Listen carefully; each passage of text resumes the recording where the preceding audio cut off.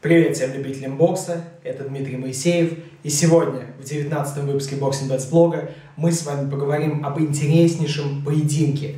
Поединке между чемпионом мира в полутяжелом весе сразу по двум версиям, легендарным американцем Бернардом Хопкинсом и российским чемпионом мира в этом же весе Сергеем Ковалевым. Это очень-очень интересный и интригующий поединок. А, вы можете со мной не согласиться, но я считаю, что он куда более интересный, чем прошедший поединок Флойда Майвезера и предстоящий поединок Мэнни Пакьяо. В этом выпуске мы традиционно с вами поговорим о боксерах, порассуждаем о том, как может проходить этот поединок. Мы поговорим о мнении букмекеров – и о идеальных ставках на этот поединок. Ну и в качестве небольшого эксклюзива в рамках этого выпуска вы узнаете эксклюзивное мнение Измаила Силаха по поводу этого поединка и соперников. Также будет э, небольшая интересная информация от самого Сергея Ковалева. Этот выпуск, как я уже сказал, будет более традиционный, ну, отчасти по той причине, что предыдущий 18 выпуск Boxing Bets блога, посвященный реваншу Майвезер Майдана, это стал первый выпуск в рамках блога, да вообще первое видео в рамках моего блога, то есть за два с половиной года, э, который набрал больше дизлайков, чем лайков. Я частично э, понимаю, с чем это связано. Э, однако, ну, считаю, что это в любом случае не совсем справедливо, потому что в любом случае моя позиция, которая была выражена в этом выпуске, она в итоге оправдалась, мой прогноз в итоге э, оказался правильным. Мы увидели тот бой, который увидели. Поединок оказался не таким интересным, все, в общем-то, вся критика, которая была а, высказана мной в отношении данного поединка, оказалась верной. Ну да ладно, люди оценили так, как оценили. Этот выпуск будет более традиционный, а вот 20 выпуск Boxing Bets блога, это будет что-то абсолютно новое, более глобальное и очень необычное. А, я пока сохраню интригу, что же это будет, ждите юбилейного 20 выпуска. А, я думаю, те, кто следит за моим блогом, помнят, каким особенным был юбилейный 10 выпуск. Так вот, 20 выпуск это также будет особенный материал. Что касается этого 19 выпуска блога, посвященного бою Хопкинс-Ковалев, то поехали. Так как это очень интересный и сложный в прогнозировании бой, принципе, можно очень о многом, очень долго рассуждать. Но я э, попытаюсь более систематично этим заниматься, чтобы все это не растягивалось на целый час. И для начала мы поговорим о самих боксерах. Итак, Сергей Ковалев, молодой российский чемпион. Молодой, спросите вы, ему уже 31 год. Ну, с одной стороны это так, с другой стороны все познается в сравнении. Когда тебе 31, а твоему сопернику 49 лет, да, я думаю корректно сказать, что молодой российский чемпион. Вдумайтесь только, когда Бернард Хопкинс провел свой первый профессиональный поединок, Ковалеву было всего лишь 6 лет. Когда Бернард Хопкинс завоевал свой первый титул, Сергей Ковалев только начал заниматься боксом. Но так получилось, что их пути все-таки пересеклись. И этого на самом деле могло никогда не произойти. Сергей Ковалев за последние годы сделал огромный прогресс. А, когда я рассуждаю о различных бойцах, об их личностях, чаще всего, конечно же, я лично их не знаю. С Сергеем Ковалевым все немножко иначе. А, в соцсетях я начал с ним общаться еще в конце 2012 э, года, когда еще не было поединка с Кампилио, когда он еще не прошел путь к титулу. И поэтому о Сергее я знаю несколько больше, чем э, о других бойцах. Так вот, в начале 2013 года, сразу после победы над Кампилио, А, мне удалось тогда взять у него интервью. И давайте вспомним, что он мне тогда сказал о тех соперников, которых бы он хотел видеть собой в ринге. Просто вот знаешь, какой еще момент интересен именно по твоей карьере. Я, конечно, понимаю, что все вопросы относительно а с кем следующий бой и так далее, это скорее, ну, стандартный ответ будет вопросы к промоутеру и так далее. Поэтому я задам вопрос вот немножко по-другому. А с кем бы тебе в рамках тяжелого веса вот в идеале было бы интересно? Да, мне интересно, как боксировать только с чемпионами, с лучшими, те, кто сильнее меня сейчас, ну, в плане, как э, стоят выше меня в рейтингах. Угу. Вот, и только, только так, только с такими мне интересно, потому что за счет этого я только могу расти и про, как говорится, продвигаться дальше по вверх по своей карьерной лестнице и так далее. То есть, ну, только с теми, кто серьезнее сейчас занимает позиции, то есть в рейтингах. То есть уже тогда, не проведя и 20 поединков на профессиональном ринге, Ковалев хотел большего. Он не хотел отсиживаться, не хотел набивать себе свой послужной список. Однако в дальнейшей беседе с ним уже в соцсетях, э, конечно же, он сам говорил, что Хопкинс в настоящий момент с ним драться не будет, потому что ему это просто неинтересно. Однако, как я уже сказал, за последние года Сергей сделал просто скачок вперед, и теперь этот бой оказался реальностью. Так давайте же порассуждаем, какие плюсы и сильные стороны есть у Сергея для победы над легендарным ветераном. Как я уже говорил, молодой чемпион, и, соответственно, безусловный плюс – это его молодость. Хотя, когда этот плюс позволял особо соперником Хопкинса, чувствовать себя вольготно и побеждать только за счет свежести. Да, по сути дела, никогда ради интереса я промурыжил послужной список Бернарда в поисках соперника, который был бы старше самого Хопкинса.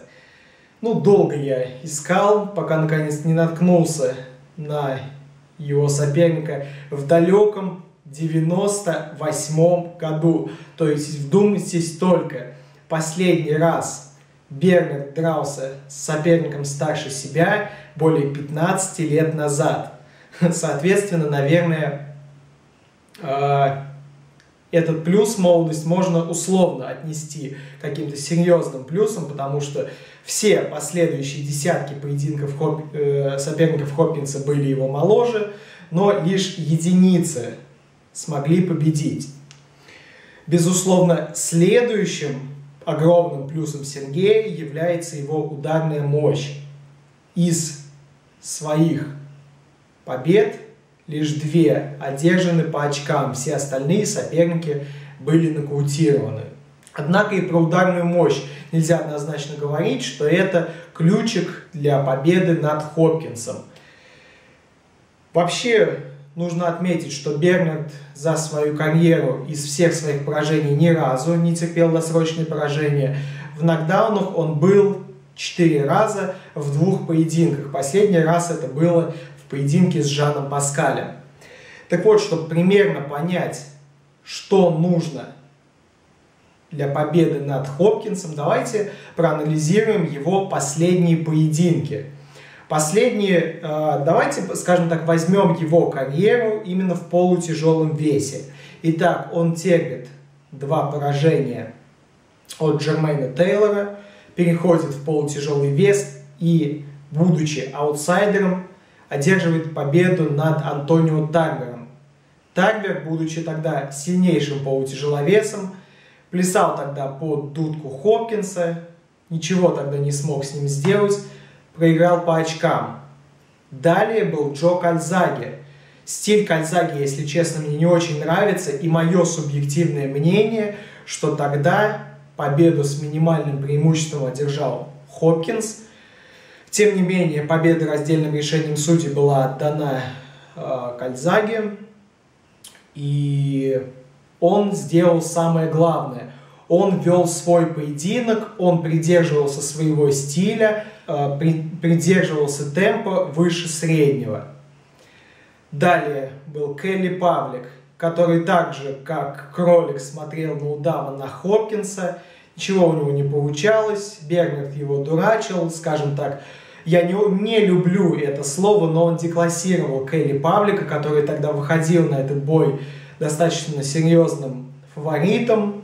Однако он в итоге вел этот поединок по правилам, которые диктовал Хопкинс. И ну, проиграл по очкам. Далее у нас э, был Жан Паскаль из существенных соперников, других я не хочу брать. И Жан Паскаль, пожалуй, имел все для победы над Хопкинсом. Кроме выносливости на все 12 раундов. Знаете, вы можете со мной не соглашаться, но э, в первом поединке с Хопкинсом я увидел как раз то, что Бернард вообще не мог контролировать, учитывая его возраст.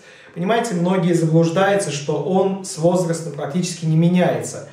Да, возможно, он меняется не так существенно, как другие стареющие чемпионы.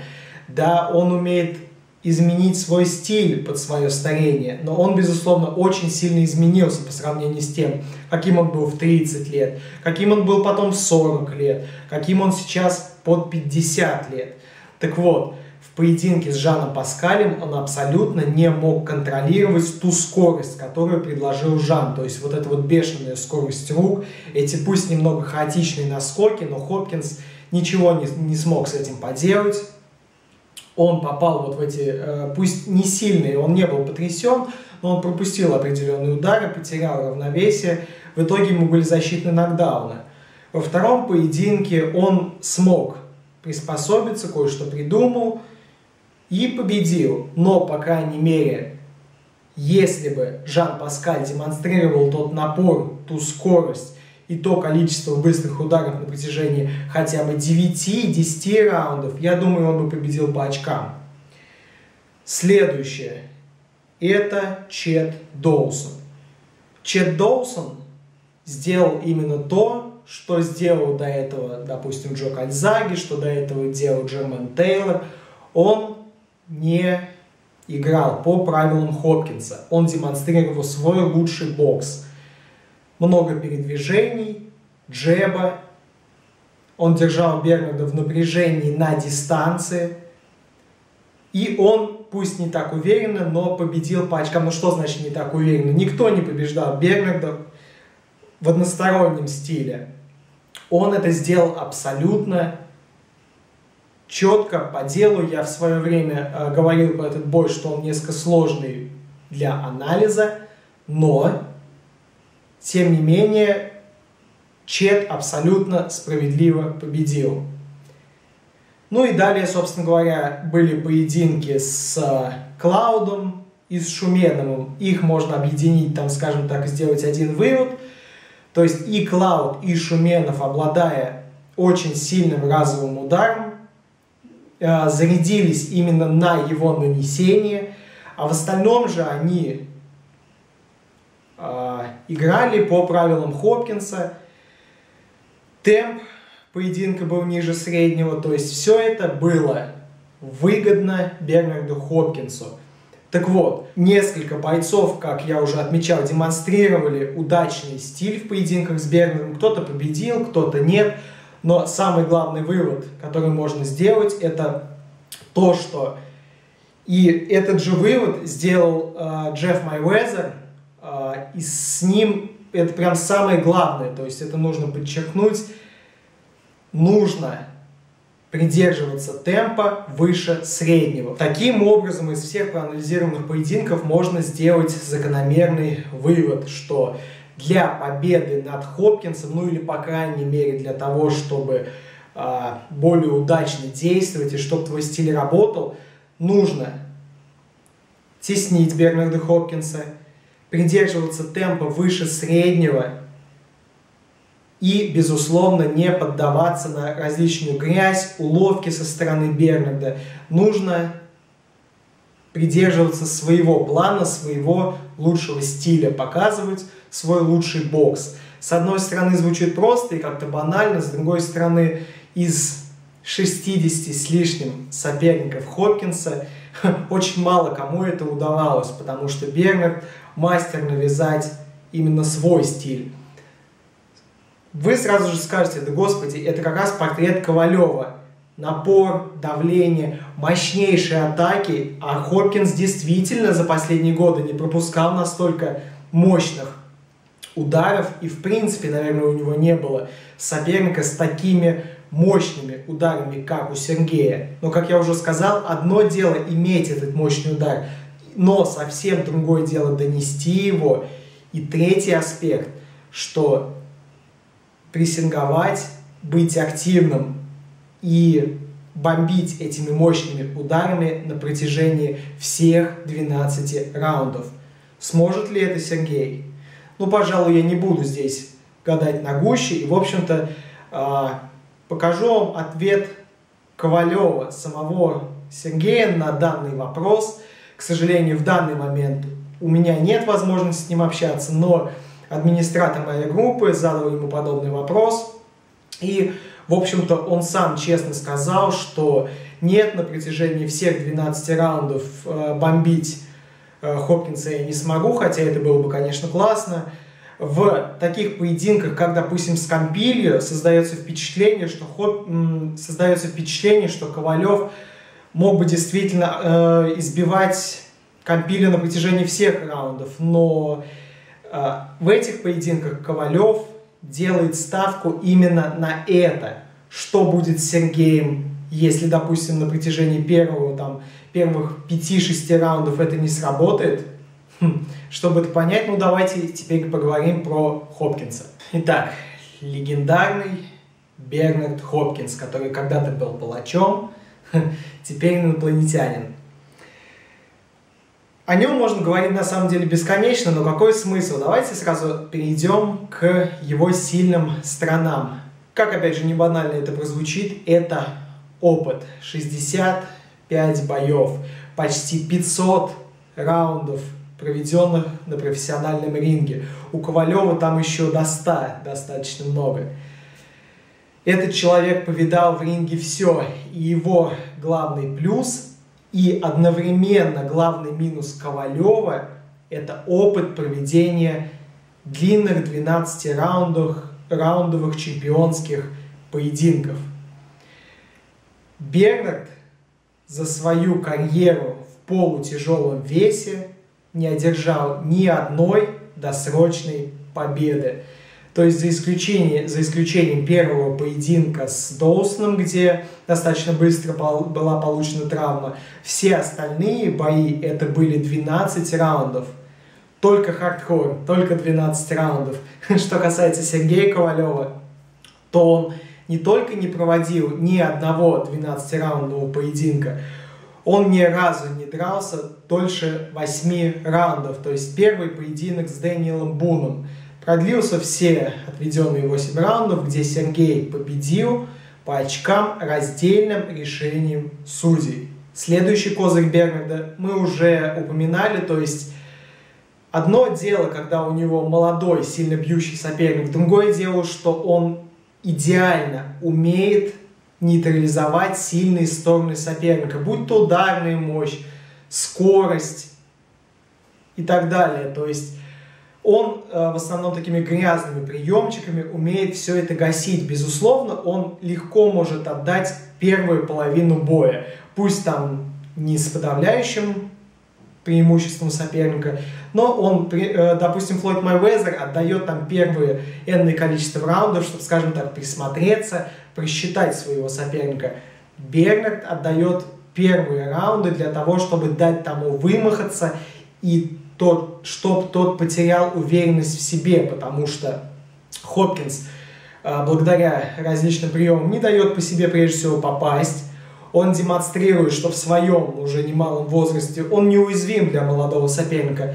Тот теряет уверенность в себе. Ну и, собственно говоря, Переждав самое опасное время, Хопкинс идет в атаку. Однако, конечно же, и в отношении Хопкинса не все так хорошо и безоблачно. И у него есть, скажем так, слабые места и минусы.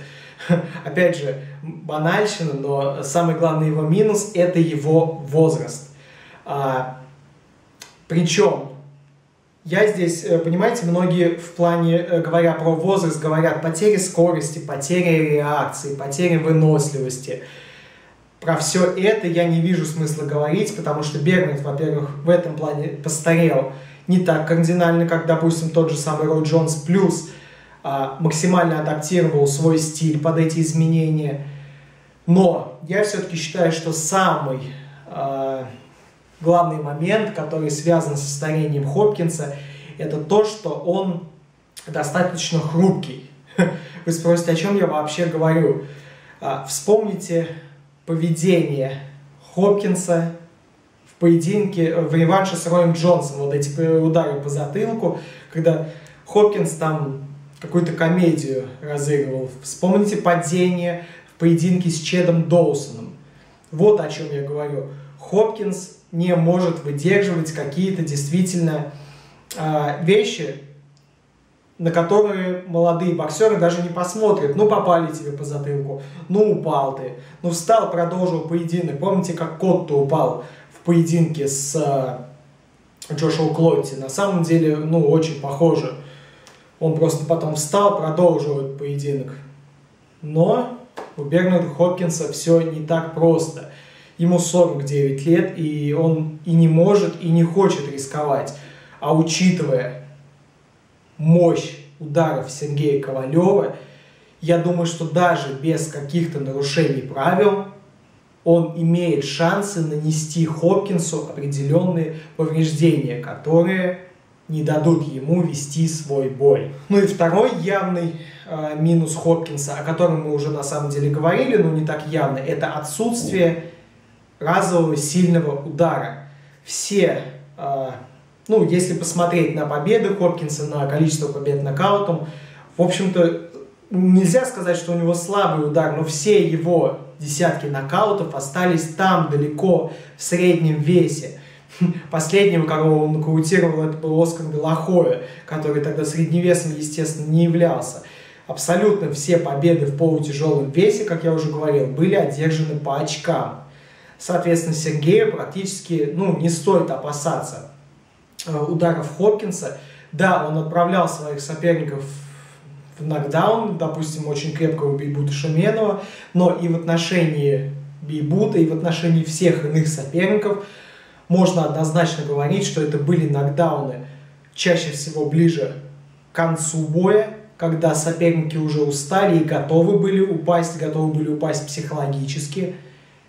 Плюс это были очень точные удары. То есть, если Сергей не пропустит уж очень точно в подбородок, он, в принципе, может идти вперед, не опасаясь, что Хопкинс его действительно очень мощно накажет. Итак, подробно поговорив о самих боксерах, теперь можно поговорить о том, как может развиваться этот бой, что мы можем увидеть и так далее. Но я прекрасно понимаю, что э, не всем интересно слушать только меня, меня и только мое мнение, да и мне хочется разнообразить как-то свой блог, поэтому по данному вопросу сегодня мы узнаем мнение бывшего соперника Сергея Ковалева Измаила Силлаха. А, он мне, э, Исмаил, всегда нравился своими интервью. А, к сожалению, а, возможности с ним связаться по телефону у меня не было, поэтому мы обсудили некоторые аспекты данного поединка в соцсетях. Первый вопрос, который я ему задал, э, звучал так, что многие чемпионы мечтали боксировать на высшем уровне до 50 лет, но чаще всего стареют в 40, а то и раньше. В чем, по-твоему, секрет Бернарда и почему в свои 49 лет он все еще побеждает молодых соперников? Измаил ответил, что его секрет в дисциплине. Если человек может дисциплинированно относиться к себе, к своему питанию и поведению, то он может дольше оставаться в хорошей форме. Скорее всего, Бернард очень строго относится к себе. Помимо этого, он находит способ мотивировать себя и повышать свою планку. Следующий вопрос звучал так, что Ковалев славится своей ударной мощью, но Бернарда никто и никогда не мог взять только за счет силы удара. Что, по-твоему, еще есть у Ковалева, чтобы удивить американца? Ответ был таков, что Ковалев имеет хорошую боксерскую школу, он был хорошим любителем, что означает, что он понимает азы бокса и знает все схемы ведения боя с различными противниками. Серега хорошо понимает, как нужно боксировать с Хопкинсом и на что его словить. С другой стороны, Бернард мастер бывшего класса и может запутать любого. Следующий вопрос – это, исходя из сказанного, какой, скорее всего, сценарий, по-твоему, нас ждет в поединке? Ковалев все-таки сможет довести до цели свой чудовищный разовый удар в первой половине боя? Или все-таки Бернард затянет россиянина в поздние раунды, а там уже всякое может случиться? Исмаил ответил, что, скорее всего, Ковалев сразу же понесется лупить Хопкинса и вполне возможно поваляет его пару раз. Но учитывая то, что Бернард еще никогда не Бернарда еще никогда не получалось остановить, он может завязать бой до конца. Но опять же, это только логичный исход с моей точки зрения. Существует вероятность, что Хопкинс деклассирует очередного молодого чемпиона. Ну и последний вопрос. Будет ли э, Силак смотреть этот бой, за кого будет болеть? Он сказал, что, конечно, бой смотреть будет, и хочется увидеть классный бокс, так что я нейтрален. Вот такое вот интересное мнение. А, я, в принципе, полностью согласен со Смаилом. Хотелось бы только добавить, что а, почему Бермарт в свои 49 лет находится в такой удивительной форме. Я там уже говорил вот эти слова, что он смог подстроиться, изменить свой стиль и так далее. Но прежде всего, конечно, мотивация, то, что он следит за собой, дисциплина, все это очень важно. Но еще и от природы, я так думаю, что ему дано Э, ну, как мало кому, то есть, ну, кто следит за моим блогом, за моими хобби, знает, что я там много чем интересуюсь, в частности, там, бодибилдингом, силовыми видами спорта. Так вот, я помню, э, очень мне понравилось интервью одного профессионального бодибилдера, который говорил, что э, американские профессионалы – это сверхлюди, которым дано просто ну, вот невероятная сила органов, здоровье, так далее. То есть уникальные спортсмены есть много где. Вот Бернард Хопкинс – это именно тот уникум, который есть в боксе. Причем, допустим, если брать Сирой Джонса, то он был уникумом в плане скорости, реакции, но все это ушло, ушло с возрастом. Бернард уникум именно в плане замедления процессов старения. Я думаю, его природный уровень тестостерона сейчас, знаете, на уровне там 30-летнего мужика. И это действительно дано очень-очень мало кому. И в частности, а, все это, вот природные данные в совокупности со всем тем, что а, говорил Исмаил, это как раз и дает ему то спортивное долголетие. А что касается того, как бой может проходить, свой прогноз я дам в самом-самом конце. А, перейдем к мнению букмекеров. Букмекеры считают явным фаворитом молодого россиянина. 1,36 коэффициент на него, тогда как на Хопкинса более трех. Уже не первый раз Хопкинс выходит аутсайдером. Я помню, что он и против Тарвера, против Павлика, и оба раза против Паскаля выходил аутсайдером. И каждый раз побеждал. В поединке с Доусоном он был аутсайдером. Тем не менее, ну, проиграл, в общем-то, не так серьезно сильнейшему полутяжу. Считаю, что эти коэффициенты не совсем э, адекватны. Э, вспоминая, опять же, интервью Силлаха для allboxing а, я согласен, что шансы здесь скорее 50 на 50. И исходя из того, что у Ковалева нет, нет опыта проведения длинных боев, я считаю, что ставка на Хопкинса – это резонная ставка. К сожалению, сейчас еще букмекерские конторы не предлагают ставок на, количество раундов, на э, победу по очкам или досрочно, но я так предполагаю, что ставки на тотал по раундам больше, ставка на победу Хопкинса по очкам, да и ставка на победу Ковалева по очкам, там коэффициенты будет очень интересные, и я считаю, что на это есть смысл поставить. В заключение, э, как и обещал мой прогноз, э, как всегда, э, буду стараться давать прогноз вот такой вот, ну, достаточно прямолинейный, четкий. То есть в случае, если я буду неправ, ну, соответственно, я окажусь неправ, но я считаю, что Бернет за счет своего опыта, за счет своих различных разных приемчиков сможет а, отсидеться в первую половину боя, когда Ковалев будет наиболее свеж и опасен. Я думаю, что скорее всего он по очкам будет уступать в первой половине боя, однако затянув Ковалева в поздние раунды, он опять же за счет своего колоссального опыта, за счет того, что у Ковалева там нет опыта, за счет того, что Сергей несколько устанет, Хопкинс начнет раунды отвоевывать. В итоге нас ждет очень близкое решение. В очередной раз я допускаю, что возможно, опять же, раздельное решение. Ничья, мне кажется, вряд ли. Судьи все-таки попытаются здесь кому-то отдать победу, и мы получим чемпиона мира по трем версиям. Кому? Черт. Если я говорю, что ставка на Хопкинса резонна, пусть это будет победа Хопкинса по очкам с минимальным преимуществом. Вот такой мой прогноз. Естественно, очень интересно слышать ваше мнение. Комментируйте. Надеюсь, все-таки выпуск вам понравился. Ставьте лайки. Ждите 20 выпуск, как я уже говорил, это будет нечто интересное. Подписывайтесь на мои группы ВКонтакте, на Фейсбуке.